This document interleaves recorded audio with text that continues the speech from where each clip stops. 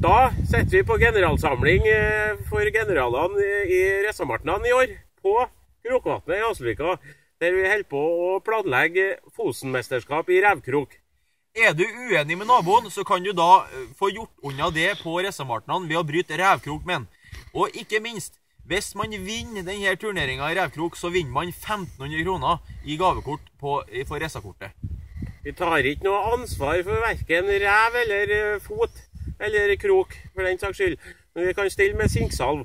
Revkrok er mye på teknikk. Det har jeg sjøl opplevd når eh, sjøla sendte meg rett i vedovnen på stua.